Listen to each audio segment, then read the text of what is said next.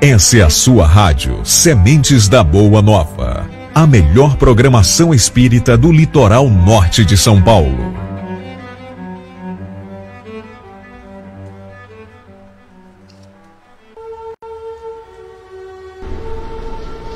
Boa noite aos nossos queridos ouvintes da Rádio Sementes da Boa Nova. Que a paz de Jesus esteja convosco. Estamos transmitindo diretamente do Centro Espírita Joana de Ângeles, Ubatuba, São Paulo. Uma casa mantida pela Associação Espírita Sementes da Boa Nova. E a partir de agora iniciaremos as transmissões ao vivo de nossas palestras, que ocorrem todas as terças e sextas-feiras às 20 horas. Desejamos a todos uma ótima palestra. Boa noite aos presentes, feliz 2020. Sejam bem-vindos à nossa casa. Eu peço por gentileza que vocês desliguem seus celulares. Boa noite aos ouvintes da Rádio Sementes da Boa Nova e aos internautas que nos assistem ao vivo. Antes de iniciarmos os trabalhos desta noite, nós daremos alguns avisos. Para acompanhar nossas transmissões ao vivo, basta acessar www.sementesdaboanova.org barra rádio web ou www.facebook.com barra sementes da Boa Nova. Os cursos e a evangelização infantil estão em recesso, voltam a partir da primeira semana de fevereiro. O clube de leitura também está de recesso e também volta na primeira semana de, de fevereiro.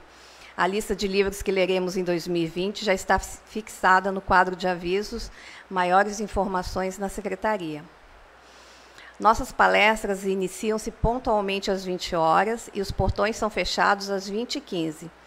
A evangelização infantil ocorre durante as palestras e atende crianças de 4 a 12 anos. Porém, como já disse anteriormente, está em recesso e volta na primeira semana de fevereiro. Temos o atendimento fraterno todas as ter terças e sextas, das 18 às 19h45 a biblioteca e livraria ficam à disposição todos os dias, das 18 às 20 horas. Nossos cursos estão abertos a todos os interessados. São eles: Evangelho segundo o Espiritismo, Livro dos Espíritos, Livro dos Médiuns e o livro Céu e Inferno. Maiores informações na secretaria. Nossas obras assistenciais abrangem o preparo da sopa aos moradores de rua e sua distribuição, distribuição de cestas básicas e a confecção de enxovais de bebês para gestantes carentes feitos pelo grupo Meimei.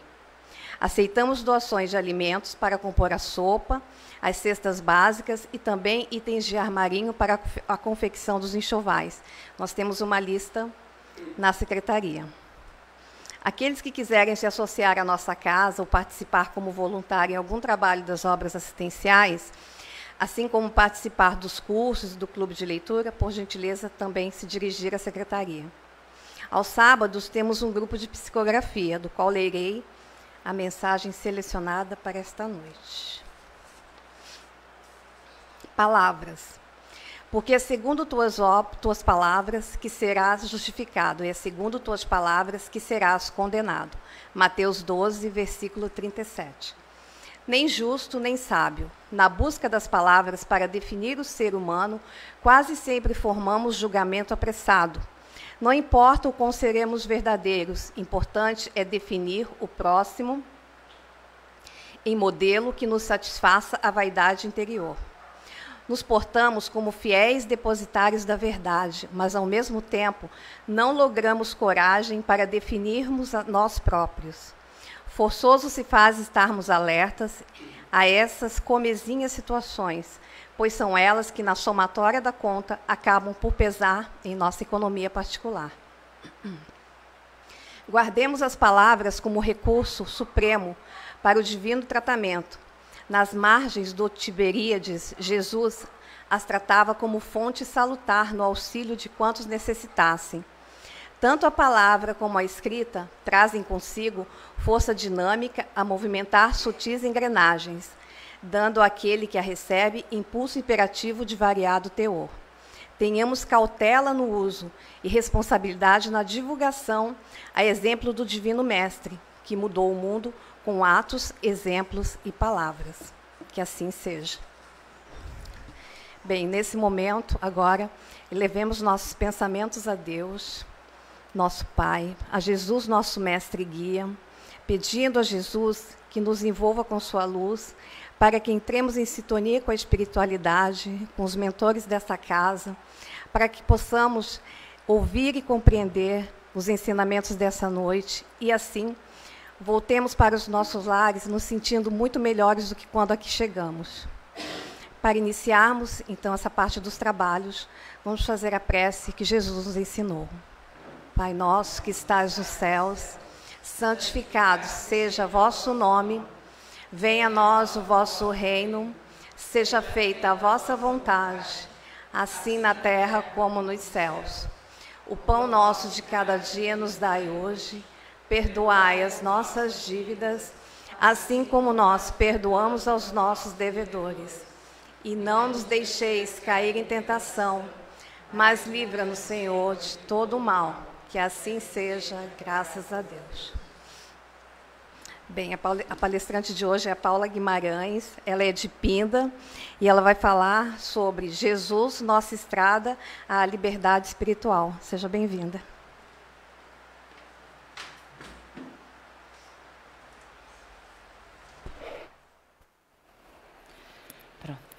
Boa noite a todos. Feliz 2020, né? Que a gente tenha um 2020 abençoado para todos nós.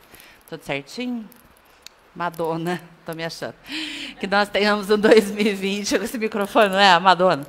Que nós tenhamos um 2020 abençoado, que todos nós realmente tenhamos os olhos de ver, ouvidos de ouvir, não é? Que a espiritualidade nos convida que nós tenhamos. E hoje nós resolvemos falar de autonomia com Jesus porque ele veio nos ensinar a sermos livres, mas livres com consciência, não é? Não livres enlouquecidamente, mas livres que raciocinam, que pensam, que refletem a respeito das suas escolhas, porque das suas escolhas advirão consequências.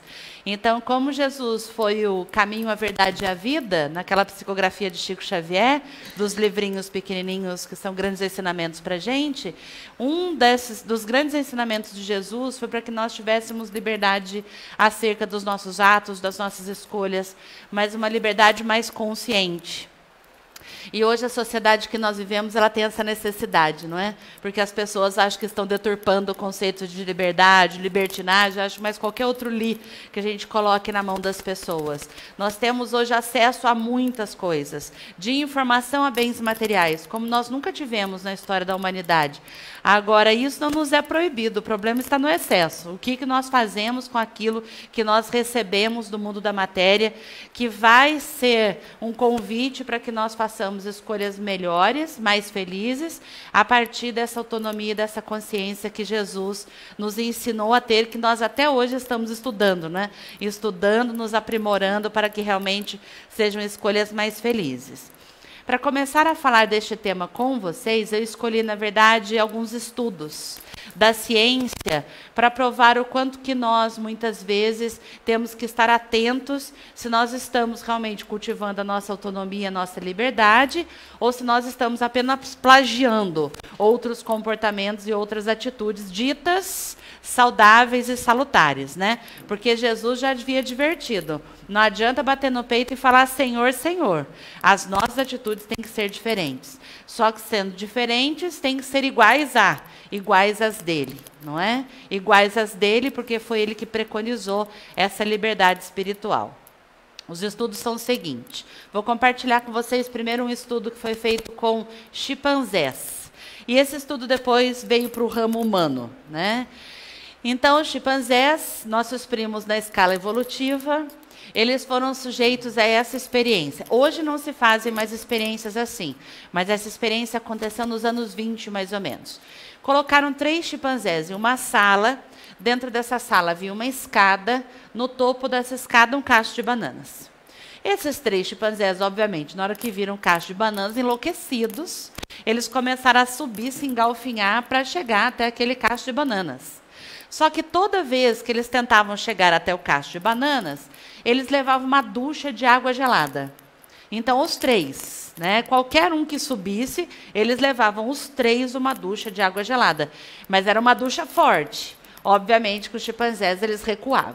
E isso aconteceu durante vários experimentos. Eles tentavam subir ducha de água gelada.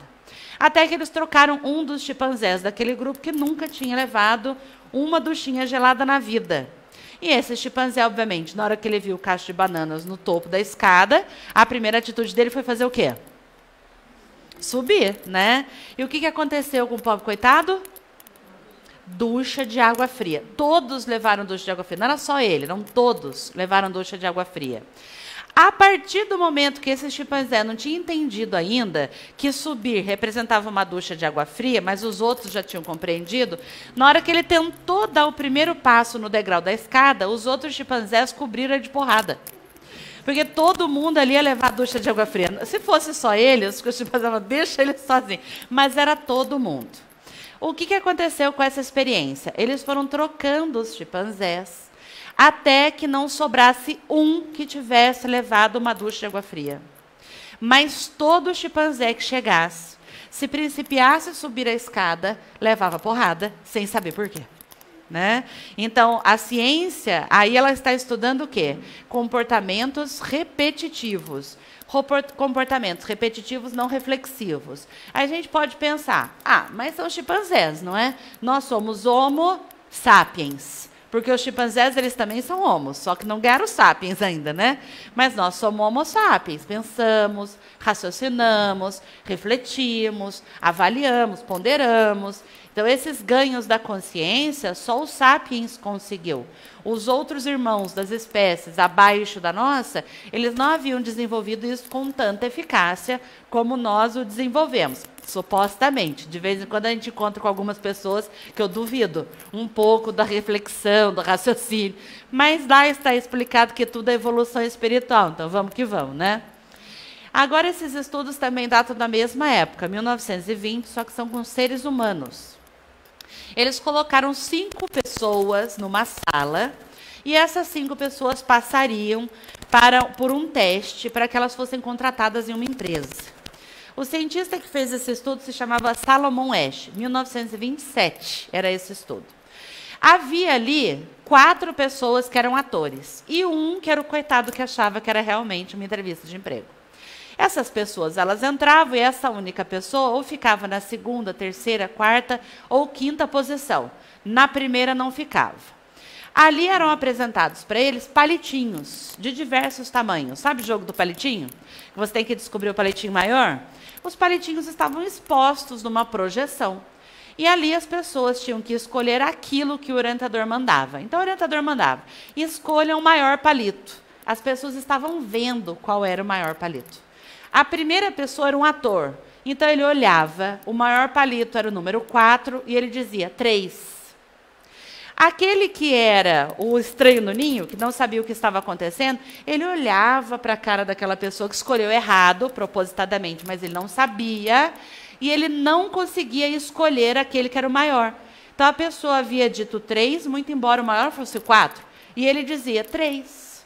Aí os outros diziam três, três, três. Essa experiência se repetiu com mais de 5 mil pessoas. A maioria das pessoas foi Maria vai com as outras. Escolheram exatamente o que os outros tinham escolhido, muito embora os seus olhos diziam para eles qual era o maior ou qual era o menor palito. Significa dizer que não existe tanta autonomia assim como nós pensamos, não é? Mas a gente pode pensar, poxa vida, mas era 1927. Acho que a gente progrediu, a gente evoluiu com o tempo. Nós não estamos igual o macaquinho, porque o macaquinho passou a não comer a banana porque ele levava porrada. Muito embora ninguém mais tivesse recebido uma ducha de água. Ele não subia mais. O outro, embora visse o palito distinto, ele não tinha coragem de dizer que palito era aquele, exatamente porque as outras pessoas já tinham votado nos outros palitos. E ele repetia exatamente o que todos estavam repetindo. Aí, neste momento, eu me lembro das nossas mães. Porque as mães, elas vêm chipadas. Vocês sabiam disso? É o seu primeiro filho ou não? É? Então já tem um chip ali, né? Já tem um chip de identidade. Que chip é esse? Quer ver? Eu nasci em São Paulo. Quem nasceu aqui em Ubatuba? Tem uma aqui, Batuba, Batuba. Quem nasceu em outro lugar? Batuba lá no fundo. Onde você nasceu? São Paulo também, conterrânea? Nordeste de onde? Sergipe, minha mãe é de Fortaleza. São Paulo também? Quem mais? São Paulo. São Paulo. Ó, então a gente tem diversas localidades. Tem um mineiro, gente. Ah, salvou, né? Então a gente nasceu de diversas localidades. Beleza, vamos ver se as nossas mães eram tão distintas assim. A mãe de vocês dizia isso para vocês? Quando você falava assim, todo mundo vai, que era a regimentação de quadrilha, né? A gente falava que todo mundo vai. O que, que a sua mãe dizia para você? Você não é todo mundo. Respondeu uma batubana e uma de São Paulo. Você não é todo mundo? Se todo mundo pular da ponte, você pula também. Tá vendo como mãe tem microchip, né? Eu acho que as mães são as primeiras conduções de Jesus para que nós sejamos seres realmente independentes, autônomos e indivíduos que pensem por si. Porque as mães estavam dizendo isso para gente. Se todo mundo pular da ponte, você vai pular também? Né? Você não é todo mundo. O que, que as mães estavam dizendo? Você é um indivíduo, você é único. Você tem que fazer escolhas mais felizes, você tem que fazer escolhas melhores. Não é porque todo mundo está escolhendo que você vai escolher também. Então as mães diziam para a gente: reflita antes de ser, Maria vai com as outras, não é? Então as mães passaram por essa experiência do Salomão West, pode ter certeza. 1927. Anos depois, 1990 mais ou menos, a Universidade de Salamanca, na Espanha, também fez um experimento. Só que não era mais uma sala com palitinhos, era um elevador. Então ali entravam atores no elevador e a pessoa desavisada que ia para qualquer andar, não é da sua escolha. Essa pessoa entrava e os atores estavam olhando para ela. Ela apertava o botão e automaticamente ela ficava na mesma posição. Pensemos que a porta do elevador está aqui na nossa frente. Então alguém que chega vem olhando nos meus olhos, não vem? Essa pessoa apertava o botão do elevador e automaticamente virava e ficava olhando para frente também. Só o que, que os atores começaram a fazer? Uma vez que o elevador começou a andar, eles viravam de lado. Aí a pessoa olhava, achava aquele povo meio estranho, mas virava de lado também. Um dos últimos experimentos é um rapaz, está na internet, todos esses experimentos, caso nós queiramos ver, científicos, não é? Que ele entra, os atores estão no elevador. Aí ele fica de costas. Aí os atores viram para cá. O comando do elevador está nas costas. O rapaz dá uma risada, acha o povo meio louco, mas vira também. Ele vira de costas para todo mundo. O rapaz olha para um lado, olha para o outro, e ele vira também. Até que eles completam uma volta inteira. E o rapaz completa a volta inteira também. Mesmo dando risada, achando esquisito, achando estranho. Isso não é um comportamento coletivo? Não é? Esse rapaz não achou esquisito? Por que, que ele virou junto com as outras pessoas, gente? O que, que vocês acham? Hã? Achou que era uma brincadeira? que mais? Opiniões. Para os internautas também podem sugerir, a gente capta espiritualmente. não quis ser o diferente, né? ele quis seguir um pouquinho o movimento das outras pessoas, ele quis fazer parte do grupo. Se ele não virasse, ele ia ser o estranho no ninho, não é? Então, nós, enquanto seres humanos, nós temos essa tendência comportamental. Para que nós participemos de grupos e núcleos, muitas vezes, nós esquecemos de nós para que nós possamos fazer o movimento do coletivo para que nós não nos destaquemos, para que nós não sejamos apontados, para que as pessoas não digam assim, nossa, mas você é estranho, sendo que o estranho seria o correto. Porque Jesus, na época dele, diante das pregações que ele fez, Jesus era muito estranho. Não é? Jesus era muito estranho exatamente por quê? Porque ele estava indo na contracorrente de tudo que se pregava naquela época. Jesus pregava o amor, a tolerância, a paciência, a indulgência, perdão, benevolência, caridade. E aquelas pessoas viviam numa sociedade em que isso não eram palavras comuns.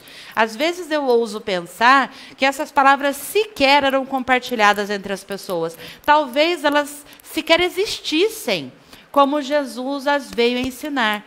Porque ali era a lei do talião, não é, gente? Olho por olho, dente por dente. Então não havia escolhas amoráveis, havia subserviência pelo medo. As pessoas obedeciam porque eram amedrontadas a obedecer, porque elas temiam. E uma vez que não questionavam, uma vez que não raciocinavam, elas simplesmente se submetiam ao mando daqueles que eram considerados os poderosos de então. Ou o governo ou o sinédrio, que eram as duas maiores forças que ali imperavam na Jerusalém antiga. Então, eis que chega um homem dentre os judeus, porque Jesus também era judeu. Jesus faz a sua primeira pregação dentro do templo aos 13 anos de idade. Não é considerado a pregação por conta do acúmulo de pessoas, mas ele discute com as pessoas que estão ali do sinédrio, que eram sacerdotes, que haviam estudado as letras da lei. No mínimo, era para Jesus ser realmente entendido como uma pessoa diferente, peculiar e curiosa e amedrontadora do sistema. Porque se uma criança, na casa dos 12, 13 anos, consegue discutir conceitos elevados da lei judaica com aqueles que preconizavam a lei, no mínimo eles ficarem incomodados. No mínimo eles ficarem incomodados. Então, quando nós falamos das perseguições a Jesus, até o seu movimento né, de desencarne, Jesus não foi perseguido por motes religiosos, religiosos. Jesus não pregou religião. Jesus pregava comportamentos distintos. Jesus fazia com que nós refletíssemos nas nossas mínimas atitudes, até mesmo quando ele fazia as curas, que nós considerávamos milagres, porque não entendíamos a manipulação dos elementos que aquele homem era capaz de fazer, não é? Então nós dizíamos que eram milagres. E Jesus dizia para nós assim: Vós podeis fazer o que faço e muito mais. É uma frase genérica, não é? Jesus diz: Vós podeis fazer o que faço e muito mais. Então o Messias está dizendo assim para a gente: Vocês todos que estão aqui também podem fazer estes milagres e muito mais. Por que, que a gente não consegue então? Por que, que até mesmo os apóstolos eles duvidaram? Não duvidaram? Simão Pedro não afundou no rio. E Jesus fala: Simão, levanta e vem até mim. Ele veio mais pelo poder de Jesus do que pela fé que ele tinha. Não é? Então, por que, que nós duvidamos? Porque nós não conhecemos ainda a capacidade espiritual que nós temos. Porque nós desconfiamos de nós mesmos. E quando nós desconfiamos de nós mesmos, nós somos Maria com as outras. Aí nós vamos sendo adesos a grupos e movimentos inócuos, que não têm sentido, simplesmente porque, ainda amedrontados, nós não conseguimos pensar e raciocinar sozinhos. E nós estamos vivendo tempos assim. Diria um professor de história, meu amigo, são tempos muito bicudos. Não é que as pessoas ou são A ou são B. Se você falar assim, eu não queria ser, você é praticamente linchado. Não é? Você tem que ser A ou você tem que ser B. Você fala, mas hoje mesmo não queria muito. Você fala, não pode. Você tem que ter uma escolha pronta, não é? Ou você defende Cicrano ou você ataca Beltrano. Você não pode falar assim, poxa, mas eu queria ponderar mais.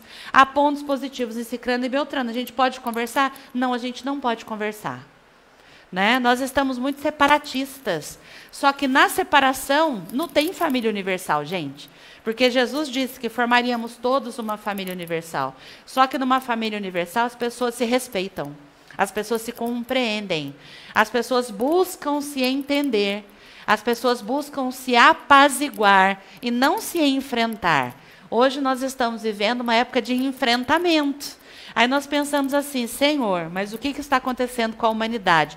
Para onde nós caminhamos? Nós não estamos passando por uma transformação planetária? Não é uma nova separação do joio e do trigo? Não estamos vivendo isso? Não lemos isso em Divaldo Pereira Franco? A Gênesis já nos adverte, lá nos seus capítulos finais, que nós veríamos dois regurgitários, dois grandes regurgitários. Um grande regurgitário era físico, ou seja, nós veríamos a Terra ainda passar por grandes solavancos de amadurecimento. Este orbe que nós estamos habitando, ele não é um orbe maduro ainda geologicamente falando. Não é? Ele ainda é um orbe adolescente. Nós temos o magma que é pastoso no centro da Terra, nós temos tsunamis, não temos? Nós temos vulcões que acordam. Então a Gênese nos diz: sim, isto é comum, exatamente pela evolução da Terra. Mas nós veríamos um outro regurgitar, que seria o regurgitar moral.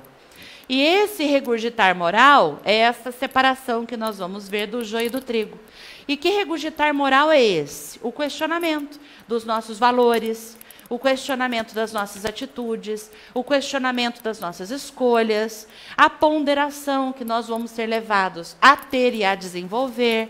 Então é como se a Gênesis dissesse para a gente assim: olha, não haverá mais espaço para Maria vai com as outras, que cegamente se deixa conduzir por uma turba enlouquecida. Não haverá mais espaço por aqueles que não refletirem e pensarem, não ponderarem e avaliando ainda, não só pela razonabilidade, mas pelas veias do coração.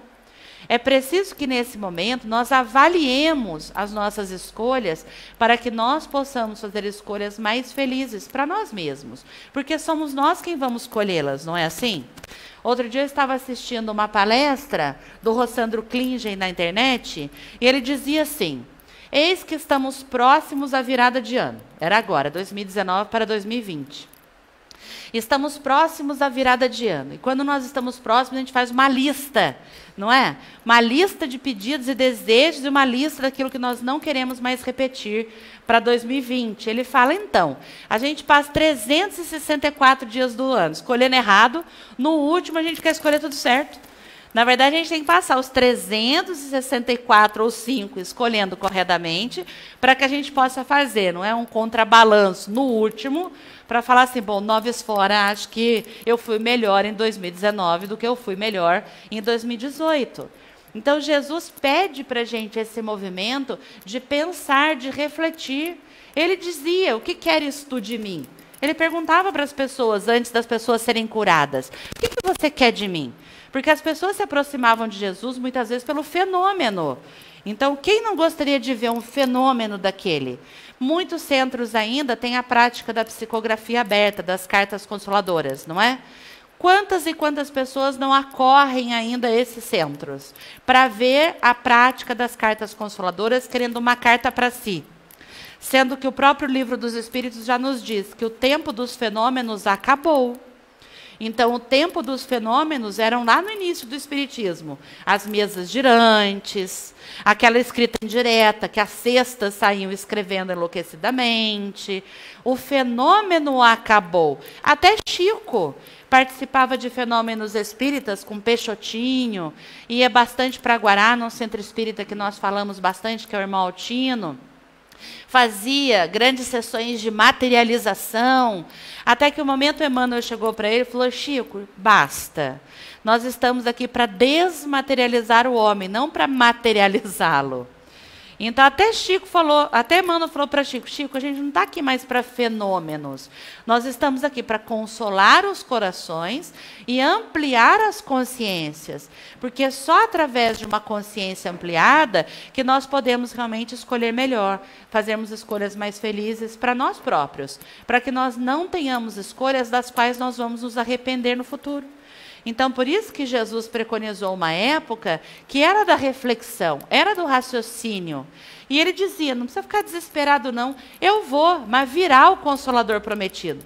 Ele não nos deixaria abandonados, ele não nos deixaria relegados à nossa própria sorte. Exatamente por quê? Porque ele sabia que nós ainda não tínhamos condição espiritual de seguirmos sozinhos porque nós ainda estávamos amortecidos, adormecidos diante das nossas escolhas. Então Jesus sabia que ele iria, mas ficaria outro que o substituiria, não talvez no mesmo grau, né, de iluminação espiritual como Jesus, mas ele sabia que nós ainda éramos crianças, nos primeiros passos da emancipação. Nós precisaríamos ainda de um modelo e guia. Aí nós temos a codificação espírita, trazida por Allan Kardec. Não é? Para que essa possa fazer o que conosco? Ainda nos esclarecer. E eu costumo brincar que a codificação espírita ela cerca o frango. Aqui em Ubatuba tem essa expressão também ou não? Ou é muito de Pindamonhangaba? Porque, embora eu tenha nascido em São Paulo, eu moro em Pinda. Então, em Pinda, a gente fala que a gente cerca o frango. Né? Você cerca o frango de tudo quanto é lado, não cerca? Quando você vai pegar o frango, coitadinho. Né? A doutrina espírita faz exatamente isso com a gente. Vamos ver os livros da codificação. Nós temos o livro dos Espíritos, que são as perguntas, não é, da ciência espírita, que vem esclarecer os nossos passos e escolhas. Nós temos o Evangelho segundo o Espiritismo, não é isso? Que é o consolo dos nossos corações. Nós temos o livro dos médiuns, como se não bastasse, não é? Nós temos que estudar os processos mediúnicos para que nós possamos ser melhores canais e ferramentas para a espiritualidade. Nós temos a Gênese, que conta da história da criação. Nós temos o céu e o inferno. Não temos o céu e o inferno? Nós temos o céu e o inferno que conta esta divisão entre o mundo dos encarnados e do desencarnado. Para onde que a gente vai, que fim que a gente vai levar. Nós ainda temos obras póstumas. E a gente tem um livrinho pequenininho que se chama Introdução ao Espiritismo. Então, se nós fôssemos falar, são seis, sete livros. Né? Sete livros nós podemos ler a mesma lição nos sete livros, só que de formas diferentes. A mesma lição é repetida nos sete livros, só que de ângulos e prismas diferentes. Exatamente por quê? Ah, eu duvido aqui. Ali me explica de uma outra maneira. Hum, compreendo. Ali me explica de uma outra forma. Então nós somos cercados por todos os lados. Não tem como a gente fugir. É o mundo da mediunidade, é o evangelho que nos consola, é o céu e o inferno que diz se nós fizermos aquilo que o evangelho preconiza e estudarmos o que o livro dos espíritos nos diz, a gente não vai pagar as nossas penas nos abismos profundos. Nós somos cercados de informação. Então, quando Jesus desencarna, ele diria para nós que viria o consolador. Só que o consolador é genérico. E este consolador das nossas almas é toda esta codificação que nós abraçamos dentro da doutrina espírita, para que nós pudéssemos ter mais consciência, não sermos nem como os macaquinhos que levaram duchas de água gelada, nem a Maria vai com as outras, da experiência de Ash, que mesmo vendo os palitos distintos, ainda escolhia o palito errado, tão pouco igual o homenzinho do elevador, não é? Queridos, se vocês entrarem hoje no elevador, você não vai ficar pregado na parede? Se você entra no elevador, não é? Já existem pessoas ali. Seu movimento não é esse? Ficar na parede? Eu duvido que a gente entre no elevador, encare as pessoas e fique assim, olhando para as pessoas. Né? Outro dia a gente até fez uma experiência. A gente estava em São Paulo, aí pegamos um elevador Aí um homem entrou, muito sério, meio que falando sozinho. Eu falei, olá, tudo bem? Ele não respondeu. Aí eu fiz igual o Rossandro disse: Oi, Paula, tudo bom? Como vai você? Estou bem, e você? Como é que está? Falei comigo. Aí o homem não aguentou, ele deu risada. Ele olhou para mim e deu risada. Falei, ah, eu estava aqui nos meus pensamentos. Eu falei, ah, eu percebi, né? Mas numa boa, brinquei. Né? Exatamente porque as pessoas elas estão se enclausurando muito né, nos seus pequenos universos. Só que quando eu me enclausuro nos meus pequenos universos, a primeira chama de esperança que aparece, gente, se eu não refletir, eu vou atrás dessa chama de esperança, mesmo que equivocada. Porque Jesus disse que viriam os falsos profetas, não é? Não viriam só os profetas bons, mas viriam também os falsos profetas. E como que eu separo uma coisa da outra? E aí? Como que eu separo o mau profeta do bom profeta? Como que eu consigo distinguir? O que, que vocês acham? Hum? Ainda não faço leitura labial. Povo do fundão. Fala aí, fundão. Muito bom. Gostei. Discernimento a partir das atitudes observadas. Você falou, Mário? apesar dos a, a, partir dos frutos, Mário foi poético, né? Ele falou das atitudes, foi curto e grosso, adoro, né? E você discernimento, é exatamente isso, né? Então eu tenho que ver as atitudes das pessoas, eu tenho que refletir, eu tenho que pensar para ver se aquela atitude ela é digna, ela é honesta, ela é justa. E qual é o nosso maior crivo? Jesus. Nosso maior crivo é Jesus. Ele veio fazer a separação de águas para gente para dizer para a gente o que seria correto, o que seria incorreto. E eu acho tão interessante nós próprios refletirmos acerca de nós, enquanto seres humanos em evolução. Eu tenho certeza mais do que absoluta, mais do que absoluta, que nessa semaninha que nós vivemos aqui, entre 2019 e 2020, já houve atitudes que você próprio tomou, das quais você se orgulhou, e teve algumas atitudes e falou assim: ai, gente, podia ter melhorado nesse aspecto. Já viveu isso nessa semaninha? Não já? Gente, isso não é uma evolução? Houve momentos da nossa vida que a gente acordava, dormia do mesmo jeito, sem fazer um pestanejar de raciocínio, não é? Nada. A gente passava batido. Outras reencarnações, outros tempos. Não vamos colocar que seja nessa, né? Vou colocar as reencarnações pretéritas aí. Nessa a gente já está diferente. Mas nós já estamos fazendo este movimento. E por que, que isso é necessário? Chico uma vez disse o seguinte: ele foi questionado no Pinga Fogo, que era um programa de rádio que existia. Falaram, Chico, por que as outras religiões são tão lotadas, seus bancos são abarrotados, e a doutrina espírita ainda não é tanto? Aí Chico diz o seguinte: porque nós ainda não temos condição de esclarecer todo mundo. Ai, essa foi dolorida, né? Que Chico é gentil, né? Nós não temos condição de esclarecer todo mundo. Significa que os tempos passaram. O Pinga Fogo é de 1970. Os estudos já se aprofundaram. Então significa dizer que cada um de nós que estamos aqui, nós somos multiplicadores das palavras do Consolador prometido. Nesses tempos de modificação do orbe, nesses tempos de transição planetária, se uma pessoa ainda não consegue ter este discernimento, e você já fez uma conquista maior, então cabe a você compartilhar o seu discernimento. Eu não vou impor, eu não vou obrigar a pessoa a pensar como eu penso. Eu não preciso nem falar em bases espíritas, porque às vezes as pessoas ainda têm medo de espiritismo, né? Acho que a gente, sei lá, não sei. As pessoas têm um pouco de medo desse povo que fala com espírito. É esquisito mesmo, né? Então o povo é meio ressabiado. Não preciso falar que eu sou espírita, mas eu não posso me furtar ao ensinamento. Eu não posso me furtar à troca. Porque nós seremos chamados. Nós somos os trabalhadores da última hora. Está lá, é Jesus quem disse. Os trabalhadores da primeira hora de Cristo, havia mais de 500 pessoas, mais de 300 pessoas Quantos ficaram com ele? Quantos apóstolos sobraram? Na hora final, quantos apóstolos sobraram? Um, né? Do lado de Maria. Porque o resto já tinha morrido ou picada mula, né, gente?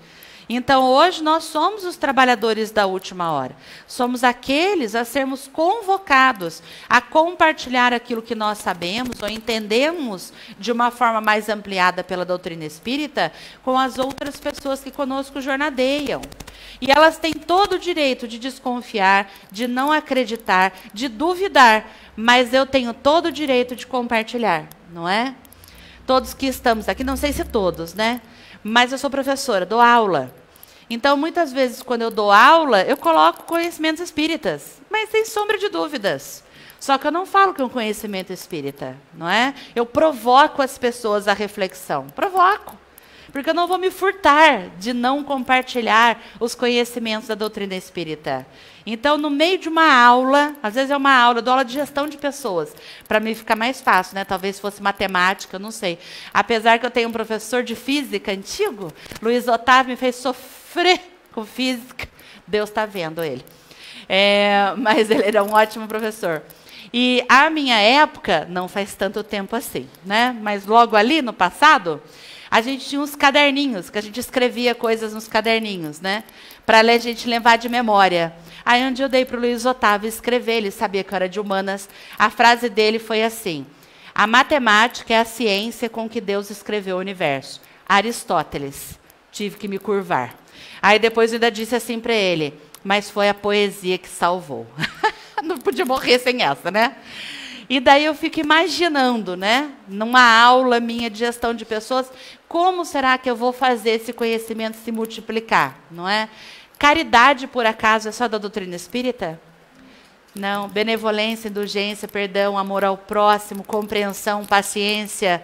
Não, não é? São todos conceitos que Jesus nos ensinou. E nós convivemos com pessoas nos ambientes que nós trabalhamos, nas nossas famílias, com os nossos amigos, na sociedade de uma forma em geral, não é? Nós convivemos com as outras pessoas. Então, nós precisamos compartilhar esses conhecimentos com as outras pessoas, provocá-las à reflexão, para que elas não vivam uma vida de uma forma meio zumbi, né, gente? Porque existe uma turba agora que está meio zumbizada. ou seja em critérios políticos ou em critérios científicos. Então, são massas humanas que seguem algumas pessoas, que para mim são os falsos profetas. E seguem cegamente. Não é? A gente pode falar, por exemplo, hoje nós temos poucos heróis. Acho que o Cazuza estava certo quando ele dizia que eles morreriam de overdose, né? Mas nós podemos ser a representatividade dos heróis nas comunidades em que nós vivemos. Mas só para vocês entenderem onde eu quero chegar. Hoje muitos heróis, muitos heróis são cantores de funk, sim ou não? MCs. Isso tem, tem uma multiplicação, igual geração espontânea, você espirra, cai 15 MC aqui do seu lado. Não é? Porque é uma forma fácil de ganhar dinheiro. Não é? Então são muitos MCs da vida. Jogadores de futebol viraram ícones. Né? Jogadores de futebol viraram ícones. MCs viraram ícones. Pessoas, muitas vezes, que defendem algumas causas que eu falo, mas está defendendo o quê? Que eu não entendi. Mas aí tem várias pessoas que idolatram alguns nomes, que trazem uma ciência rasa, sem profundidade, não é? Então, nós estamos vendo que as pessoas estão ainda vivendo e sendo conduzidas pelo instinto. O nome desta casa é Joana de Ângeles, né? Joana de Ângeles tem um livro que ela explica um pouco esta divisão das nossas atitudes, mais reflexivas, mais animalizadas. E ela foi questionada dentro desse livro, ela responde: quanto da humanidade já estaria sublimada e o quanto da humanidade ainda estaria é, animalizada. Joana diz que animalizada mais de 90%. Mais de 90%. Então, se você não se considera na parte animalizada, que eu gosto de não me considerar nessa parte animalizada, nós temos que nos considerar naquela outra parte que está galgando os passos para a nossa libertação dos instintos mais baixos que ainda temos dentro de nós. Todos temos. Não é vergonha para ninguém. Assume que é mais fácil, né? Então, todos nós estamos lutando contra os nossos instintos animalizados. Então, quando eu digo que nós temos que compartilhar com as pessoas boas práticas, é para que elas se desanimalizem, para que elas também possam fazer escolhas mais felizes, fazer escolhas mais leves, fazerem escolhas melhores, menos comprometedoras. Então, todos nós que estamos aqui somos convocados a este tipo de trabalho na seara do bem. E quem faz esta convocação não sou eu, pretensiosamente, mas é Emmanuel. Emmanuel diz, através da psicografia de Chico, que todos que estamos aqui somos colaboradores de Jesus e co-criadores de Deus. Em quê? Atitudes novas. Né? Então, nós seremos co-criadores de Deus e colaboradores de Jesus em atitudes novas, atitudes transformadas, atitudes daquele homem novo que Paulo de Tarso veio nos ensinar.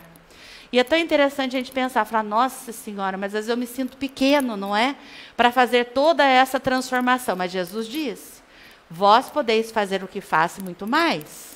Então é uma questão da gente acreditar na nossa potencialidade divina, porque nós temos uma genética divina. Acreditar e entregar. Porque Deus nos perscruta, não é? Salmo de Davi. Adoro Davi. Então, Davi era um pastor, um rei e um pastor, né? Filho de rei, rei e pastor. Então, quando nós olhamos os salmos de Davi na Bíblia, os salmos eram todos musicados, né? eram cantigas. Então os pastores pastoreavam as suas ovelhas cantando aquelas cantigas. Os pastores ensinavam as crianças através das cantigas. Por isso que Jesus nos conta histórias. Porque assim era a tradição da época. As pessoas eram ensinadas através dessas histórias que eram contadas. Era mais fácil para a gente compreender e digerir. Um dos salmos de Davi, ele fala o seguinte: diz o seguinte assim: eu sei que tu me perscrutas. Quando estou nos píncaros estelados, ou seja, quando nós estamos lá no alto das nossas escolhas, quando nós estamos felizes, quando nós acertamos, quando nós fazemos uma caridade, quando nós auxiliamos o próximo, eu sei que tu me perscrutas. Mesmo quando caio nos abismos soturnos de minha alma. Então, o que, que Davi estava falando? Deus, eu sei que tu sabes de mim, mesmo quando acerto ou quando erro. quando me equivoco, quando me comprometo. Eu sei que tu me perscrutas. Eu gosto desse verbo perscrutar. Porque perscrutar é além de observar. É ir no íntimo do nosso ser, ir no âmago da nossa alma. É como se Davi soubesse: Deus, eu sei que tu sabes as minhas intenções. E algumas vezes essas minhas intenções não saem tão felizes quanto eu gostaria. Eu sei que eu me equivoco, mesmo tentando acertar. Eu sei que tu me olhas e ele diz na sequência do salmo que virou música: Senhor, eu sei que tu me sondas, não é? Eu sei que tu me sondas. Ou seja, Jesus está ali, junto de Deus, olhando os nossos passos, as nossas escolhas, as nossas atitudes, as nossas palavras, os nossos pensamentos. E a psicografia foi sobre palavras, não é? E Jesus dizia: aquilo que sai da tua boca transborda no teu coração. Então, por isso que a gente tem que ter um cuidado com aquilo que a gente fala também, né? Não é o ditado chinês? A palavra dita, a flecha lançada, a oportunidade perdida. Não volta atrás, né? A gente tem que ressignificar. Então, quando Davi dizia isso para o seu povo, ele tentava consolar a massa, dizendo: vocês não estão sozinhos. Deus está conosco em todos os momentos da nossa existência. Algumas vezes somos nós quem não estamos na presença de Deus, porque nós estamos rebeldes, porque nós estamos distantes, porque nós estamos ingratos, porque nós estamos reclamões. E mesmo assim, Davi dizia: O Senhor é o meu pastor e nada me faltará. Tu has de me conduzir pelos verdes campos através das águas em tormentas, pelos vales e abismos entre as sombras da morte. O Senhor é o meu pastor e nada me faltará. Com teu cajado retoma meu passo ao teu redil. Então ele sabia, gente, que livre, livre de tudo a gente não podia. O cajadinho de Deus está assim, ó. Quando a gente está prestes a um equívoco muito comprometedor, o cajadinho de Deus tira a gente. Ele traz a gente de novo para o seu redil. Davi era um pastor. Jesus é um pastor de ovelhas, não é? E o que, que Jesus fala para nós? Nenhuma só ovelha do meu rebanho se há de perder. Nenhuma só ovelha do meu rebanho se há de perder. Então ele dizia que todos nós seríamos salvos, não é assim? Mas seríamos salvos de quê? De nós próprios. Agora, como que eu sou salvo de mim mesma? se eu reflito, se eu penso, se eu pondero, se eu avalio, se eu pego a doutrina espírita e espelho ela na minha vida, nas minhas atitudes, nas minhas escolhas. Pode ser que hoje eu tenha acertado mais. Deus está nos perscrutando porque fomos aos píncaros da nossa evolução. Pode ser que amanhã eu me equivoque e Deus está ainda nos observando, nos insuflando forças para que nós não desistamos. Nós não estamos mais em tempos de sermos conduzidos pelas vozes dos falsos profetas. Nós não estamos nessa reencarnação para levar uma ducha de água gelada sem nem saber por que, que a gente está levando. Nós não estamos mais vivendo essa reencarnação para, mesmo vendo o palitinho que é maior, escolher o menor por medo. Nós estamos nessa reencarnação para que nós façamos escolhas mais felizes, mais corajosas, mais dignas de Jesus. Foi por isso que ele reencarnou no meio de nós, ou encarnou, não é? Jesus não era terrestre. Foi por isso que ele encarnou no meio de nós, para que nós pudéssemos ter parâmetros, para que nós pudéssemos ter em quem nós pudéssemos nos espelhar porque aquela época de Jerusalém, o maior espelho que nós teríamos, como eu havia falado, ou eram os sacerdotes, ou era o governo estabelecido. Nenhum nem outro era suficientemente bom. Aí Jesus veio ter para conosco para dizer: se estáis perdidos, eu sou o caminho, a verdade e a vida. Se vierdes por mim, serás salvo. Salvo do que, minha Nossa Senhora? De nós próprios. A gente não vai ser salvos de terceiros, gente. A gente não vai ser salvo de quintas situações. Nós temos que ser salvos de nós próprios das nossas próprias escolhas. Aí este é o momento de fazer um questionamento, não é? Mas do que de mim que eu tenho que ser salvo? Do que? Então, já que a gente está inaugurando 2020, Né? Eu não vou perguntar em voz alta, mas vocês podem fazer essa reflexão intimamente. Se vocês fossem escolher algo em vocês, que vocês gostariam de ver uma transformação até o final de 2020, nesses 365 dias, porque agora tem um mote no Facebook, né? O povo está postando foto colocando 1 barra 365, das muitas experiências boas que a gente vai viver. Eu gostei, porque adoro coisa boa, né? Então, nesse. Agora não é um, já é três, né? 3 barra 365. Se você fosse olhar para você, na sua intimidade, todos nós, encarnados e desencarnados, não é? Ouvintes da rádio internautas, aqueles que estamos presentes. Se nós fôssemos olhar para dentro de nós e escolhermos em nós algo que seria aquilo com que eu vou me deparar para me melhorar em 2020, o que seria? Reflita. Pensa no seu íntimo. Não escolhe desarvoradamente, não. Ai, é isso. Né? Reflete. Porque, ai, é isso. Às vezes a gente quer se livrar de alguma coisa pior e escolhe a mais fácil. Né? Precisa nem escolher agora que isso pode ser uma reflexão mais detida, mais pausada, não é?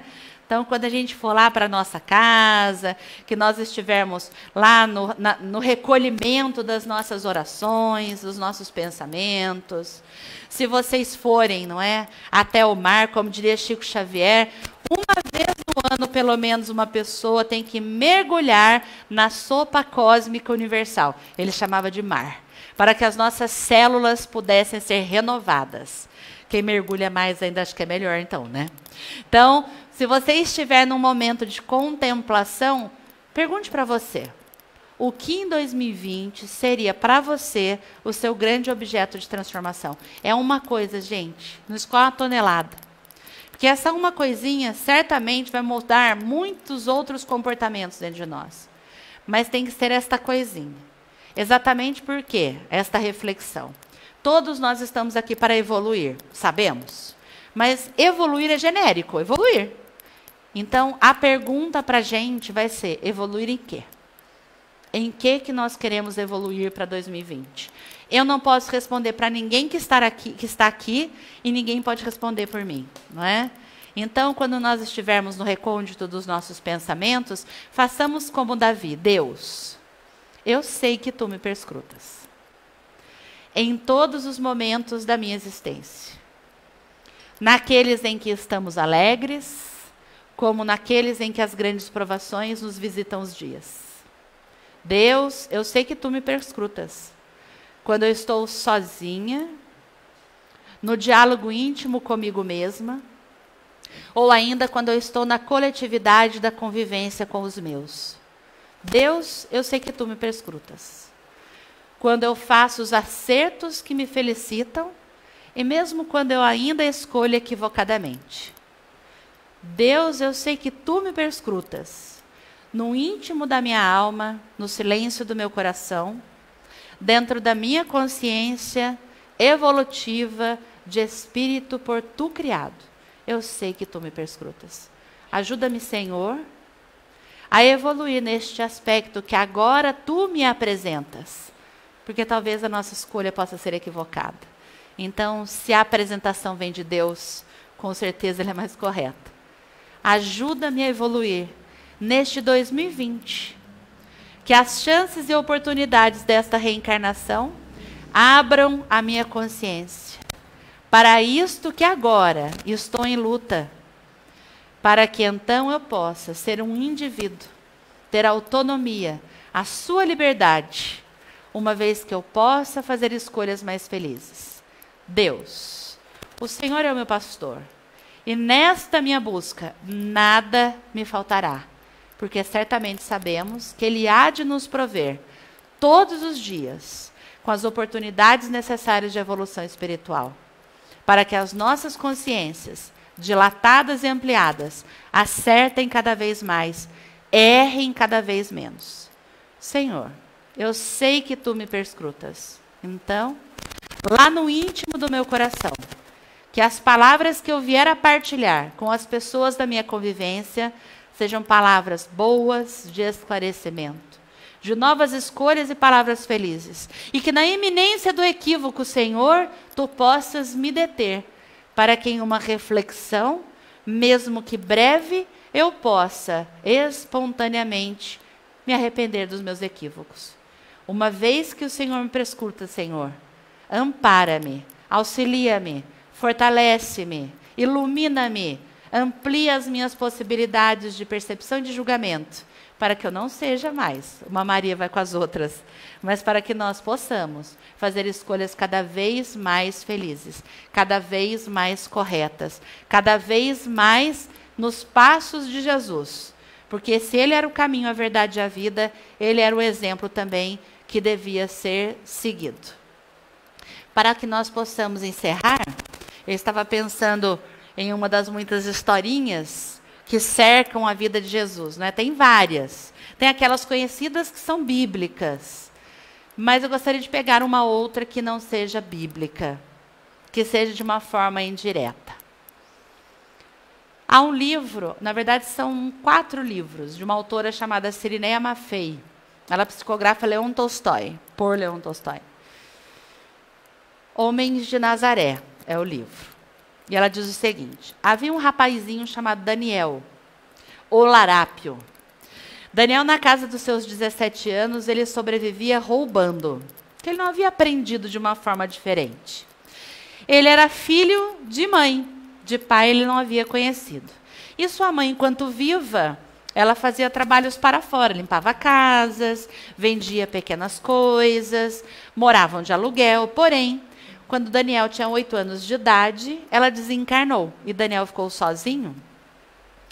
E sozinho, obviamente, que o dono do imóvel em que eles moravam colocou Daniel para a rua, sem nem pestanejar. E Daniel, na casa dos seus oito anos, ele até tentou pedir, mas as pessoas à época de Jerusalém antiga elas repeliam um pouco aquelas que não faziam parte do seu círculo. E aqueles que eram humildes demais, muitas vezes não conseguiam compartilhar do pouco que tinham. Daniel, então, não encontrou outra alternativa a não ser roubar. Na casa dos 18 anos, Daniel tenta fazer o roubo que seria o roubo da sua vida. Àquela época, Jerusalém estava sob a dominação dos romanos, então havia um general que morava ali naquela localidade, Daniel pensou: vou roubar as joias da filha do general, porque ele é muito rico. Se eu roubar as joias dela, obviamente que ele vai poder colocar outras joias no lugar. Olha como Daniel já não tinha coisa boa dentro dele, gente. Ele podia roubar de quem nada tem, ele roubou de quem muito tinha. Vamos pensar pelo lado cheio do copinho, né? Aí Daniel armou naquela noite, então, ele iria assaltar a filha daquele grande general que ali morava. E ele foi então, invadiu a casa, foi até o quarto daquela moça. Àquela época, as casas elas eram mais desguarnecidas de proteção do que as nossas hoje. A janela tinha apenas uma cortininha que balançava com o vento. Ele olhou, entrou, não viu perigo, ela dormia já, era alta hora da noite.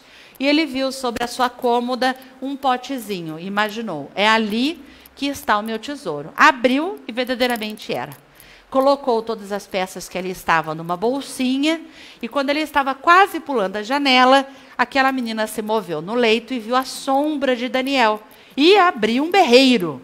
Papai, estamos sendo assaltados, estamos sendo assaltados. Daniel, mais do que rápido, pôs-se no seu cavalo e desapareceu, estrada fora. Até o general se levantar, a sua guarda se ajuntar, Daniel já tinha ganhado uma boa distância. Aí o general pega os seus melhores homens e, obviamente, manda atrás de Daniel. Mas Daniel já ia longe na estrada. Quando a madrugada já havia amanhecido, ele para numa casa, porque ele viu uma mocinha limpando o jardim. E ele pergunta: Quem mora aqui? Ela diz: Apenas eu e meu avô. E ele fala: Estou faminto. Pode compartilhar comigo um prato de comida? Ela, claro.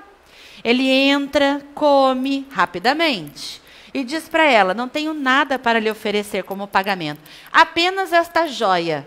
E ela olha aquilo, olha a condição de Daniel, fala: Não pode ser fruto do trabalho, não é? E ela diz: Não, não quero, não teria nem como vender isto. E ele fala: Não, fique para você. Isto aqui pode ser a sua liberdade do seu avôzinho. Não tinha alguma coisa boa em Daniel? Isso pode ser a sua liberdade do seu avôzinho. Ele podia muito bem ter comido e ido embora, não é? Era um espírito em transformação. Daniel foi-se. Chegou mais à frente daquela localidade em que ele havia galopado, ele encontra um sítio abandonado. Ele entra naquele sítio perguntando: Quem mora aí? Quem mora aí? E ele escuta uma voz que vinha lá de dentro dizendo o seguinte: Sou um leproso, não se aproxime. Daniel nem dá ouvidos àquilo, continua entrando, entrando, entrando. Ele fala: Não tenho medo de lepra. Eu acho, aliás, que não tenho medo de nada.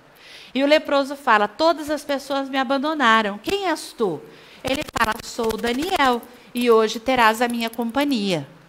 Ele vai até aquela chácara abandonada, descobre alguns tubérculos, faz uma sopa reconfortante, dá para aquele leproso, come também. A noite agora já ia alta, ele tira um cochilinho, mas põe-se na estrada de novo, não sem antes de deixar mais uma peça, obra do furto dele para com aquele leproso. O leproso diz: Não, leve com você, eu não me levantarei mais dessa cama, ninguém vem aqui me visitar. E ele fala: Não, há de aparecer uma boa alma. Eu deixo para com você. Pode ser a liberdade nos dias mais terríveis da sua doença. E foi embora.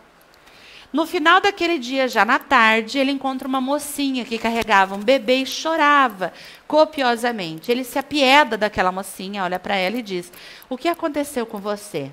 Ela fala: Meu marido era um soldado romano. Ele morreu. Agora não tenho para onde ir. O que, que Daniel faz? Tira mais uma joinha, dá para aquela moça, ela fala: "Não, as pessoas não acreditarão que esta joia é minha". Ele fala: "Tome, venda, pode ser a sua independência do seu filhinho". E vai. E encontra uma árvorezinha na qual ele se recosta e tira um cochilinho. Nessa altura, vocês estão se perguntando: cadê os exércitos? Cadê o povo que veio atrás de Daniel? Eles já tinham achado o rastro de Daniel na primeira casa que ele havia parado. Só que os soldados tiveram um pensamento: aquele senhor nunca vai saber se nós achamos ou não achamos o Daniel Larápio. Então nós vamos ficar com as peças, vamos vendê-las todas e dividir o objeto agora do segundo furto. Ou seja, eles foram atrás do Daniel, não mais para persegui-lo, apenas para pegar as joias, porque perceberam que ele estava deixando joias no seu rastrinho, não é? E foram isso que falaram. Quando voltaram, disseram para o nobre romano: Daniel fugiu no mundo. As suas joias também desapareceram e calaram aqueles cúmplices daquele crime. Daniel então agora estava tranquilo, recostado à sombra da árvore e cochilava. No seu cochilo, sua mãe lhe aparece, diz: Daniel, é chegado o momento da sua transformação. Abandona tudo. E ele acorda naquele sobressalto pensando: mãezinha, mãezinha, abandonar o quê? Que transformação é essa? E uma multidão de pessoas passava. Quando essa multidão de pessoas passava, ele começou a perguntar, curioso, falou: Aonde vocês vão todos? E as pessoas diziam: Vamos ver o rabi. E Daniel dizia: Quem é esse rabi? Ele não havia sido apresentado a Jesus. É rabi, é Jesus, aquele que veio nos libertar. Daniel não sabe nem como, mas foi arrastando o seu cavalinho. Postou-se numa determinada posição para ver Jesus falar. Daniel nem se deu conta quando Jesus parou a sua preleção. Ele estava duro, entorpecido. E eu fico imaginando, se nós estivéssemos lá, se nós não estaríamos na mesma condição, sobre a inflexão desse espírito chamado Jesus, do seu magnetismo. E Daniel estava lá, duro, parado. Quando o próprio Jesus passou por ele, toca-lhe o braço e fala: Daniel, segue-me. Daniel larga tudo, inclusive o cavalo, e vai seguir Jesus. E acompanha Jesus em várias pregações. Após um determinado período, ele tem coragem e fala: Mestre, eu gostaria de lhe pedir uma coisa. Obviamente Jesus já sabia, não é? E ele fala: Diga, Daniel. E ele fala assim: Eu gostaria que o senhor me acompanhasse à casa de um amigo que fiz, um leproso. Nesta altura, nem sei se vivo está. Jesus fala: Vamos ter com ele. E eles vão, então, no final daquela tarde, ter para com o leproso. Jesus se aproxima e escuta as mesmas precauções. Afastem-se, afastem-se, sou um leproso. Não entrem aqui. Jesus bem o sabia, entrou, sentou-se à beirada da cama do leproso estendeu suas mãos sobre suas chagas, que começaram, obviamente, a se curar, ficando apenas algumas manchas rosadas na pele daquele homem. Foi ele que se colocou da cama para fora, abraçando o mestre a Daniel. Foi até a sua localidade, colheu os tubérculos, fez a sopa para os três. E eles três deitaram sobre as luzes de um céu estrelado. Os dois vieram a dormir. Quando acordaram, Jesus já não estava mais ali no caminho. Obviamente que Jesus já tinha muita coisa para fazer, não é? O leproso agradeceu sem fim Daniel. E Daniel disse: Vou lhe pedir uma coisa. Daniel pediu as coisas para os outros, né? Vou lhe pedir uma coisa. Existe uma moça que, com o seu bebezinho, caminha para a estrada. Eu disse para ela ir para a próxima cidade. Talvez você a encontre lá. O seu marido morreu em guerra e vocês juntos poderiam formar uma bela família. O leproso achou esta moça, casou com ela, teve outros filhos. E na verdade é ele quem narra a história de Daniel. Daniel, quando volta para ter com Jesus, Jesus olha para ele e fala: Daniel, aprendestes comigo tudo do que já necessitavas. Agora vá e multiplica. Colaborador de Jesus, co-criador de Deus. Daniel foi então para uma outra cidade, casou-se, desencarnou na casa dos seus 70, 80 aninhos, com vários filhos, transformou-se em um esculápio, que nós chamaríamos hoje de farmacêutico, atendendo a todas as solicitações das mais diversas dores das pessoas que lhe acorriam, contando as histórias de Jesus. Quem é Daniel? Um desconhecido, não é? Daniel talvez não está na Bíblia, não é o Daniel famoso, mas Daniel é como nós que estamos aqui. Todos nós temos um encontro marcado com Jesus. Temos. E neste encontro marcado com Jesus, é Ele quem vai nos perguntar: o que queres tu de mim? Então, quando Ele nos encontrar nesse 2020, que nós saibamos responder. Eu gostaria muito, Jesus, que tu me ajudasses a modificar issozinho em mim, ó. Que eu refleti, eu pensei que é o objeto da minha luta para esse 2020. E como ele está para Deus, na mesma proporção, talvez de iluminação e magnitude, eles nos perscrutam, sabem do íntimo do nosso coração. Então, já que nós todos estamos aqui, o convite para 2020 é: reflitamos e pensemos. O que nós gostaríamos que Jesus, como doce pastor deste rebanho, que está aqui reencarnado, nos ajudasse a conduzir os nossos, passos para o seu rebanho, de uma forma correta, de uma forma ética, de uma forma idônea, de uma forma bondosa, amorável. E essa resposta somos nós quem temos que dar para nós próprios. Que nós possamos sair hoje desta casa de bênçãos e oração, obviamente envolvidos pelos raios de luz que caem sobre nós, fazendo com que as nossas consciências ganhem passos de esclarecimento, que os nossos corações e as nossas dores também ganhem os consolos necessários que nós viemos buscar. Que nós saiamos daqui com as forças multiplicadas, onde quer que nós estejamos, encarnados e desencarnados, para que nós possamos lutar ainda contra as mazelas que trazemos, sabendo que todos nós estamos caminhando para os braços do Messias, nesta evolução constante, colaboradores de Jesus, co-criadores de Deus, para um orbe renovado, transformado, modificado.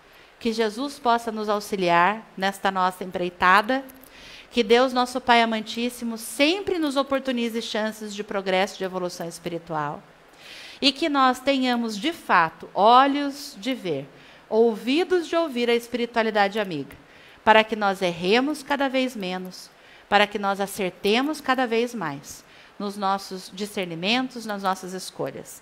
Que Jesus possa ser conosco hoje e sempre. Que Deus possa conduzir os nossos passos de volta aos queridos do nosso coração. E que nós possamos levar os eflúvios de luz que emanarão dos nossos espíritos a todos aqueles que jornadearem conosco a nossa trilha evolutiva desta reencarnação. Porque sendo assim e desta forma, certamente, nós tocaremos outros corações. Que Jesus nos auxilie, nos ampare que Deus nos olhe, nos guie, nos ilumine hoje e sempre. Que assim seja, graças a Deus e graças a Jesus. Obrigada. Muito obrigada, Paula, por tão bela reflexão. Deus te abençoe. Neste momento, continuemos em sintonia com o plano maior. Agradecemos a Deus, nosso Pai, a Jesus, nosso mestre e guia, aos mentores desta casa por mais essa oportunidade de aprendizado. Que possamos voltar para os nossos lares repletos de amor, de paz, serenidade. Em especial, agradecemos pelo ano que findou, por todas as alegrias e por todas as dificuldades que tivemos e que serviram como aprendizado. E que em 2020 possamos estar firmes no propósito de ter Jesus no nosso lado, nos amparando em todos os momentos do nosso cotidiano, sempre com a certeza de que Ele é o caminho, a verdade e a vida. E agora, nesse momento, vamos vibrar, emanar energias de paz, amor e fraternidade ao nosso planeta, em especial aos nossos governantes, que sejam sempre intuídos, amparados e guiados a fazer o bem coletivo. Vibremos por nossos irmãos que enfrentam problemas com as drogas ou qualquer tipo de vício para que possam se libertar. Vibremos por nossos irmãos que estão enfermos nos leitos dos hospitais, que possam sempre ser amparados e revigorados. Vibremos por nossos irmãos que estão nos presídios, nos asilos, orfanatos. Vibremos por nossos irmãos que vivem nas ruas que todos sejam parados e envolvidos com todo o amor.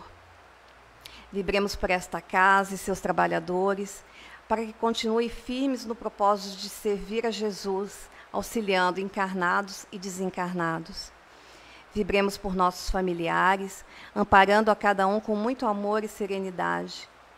Vibremos por nossos entes queridos que já voltaram para o verdadeiro lar, o lar espiritual e pedimos licença para vibrarmos por nós mesmos, que nos ampare e nos fortaleça, para sempre estarmos focados no propósito de perceber e aproveitar todas as oportunidades de aprendizado. Senhor Jesus, envolva-nos com a sua luz. Pai nosso que estás nos céus, santificado seja o vosso nome. Venha a nós o vosso reino, seja feita a vossa vontade assim na terra como nos céus. O pão nosso de cada dia nos dai hoje. Perdoai as nossas dívidas, assim como nós perdoamos aos nossos devedores. E não nos deixeis cair em tentação, mas livra-nos, Senhor, de todo mal. Que assim seja, graças a Deus. E assim ainda continuemos em sintonia com o plano maior para recebermos o benefício do passe.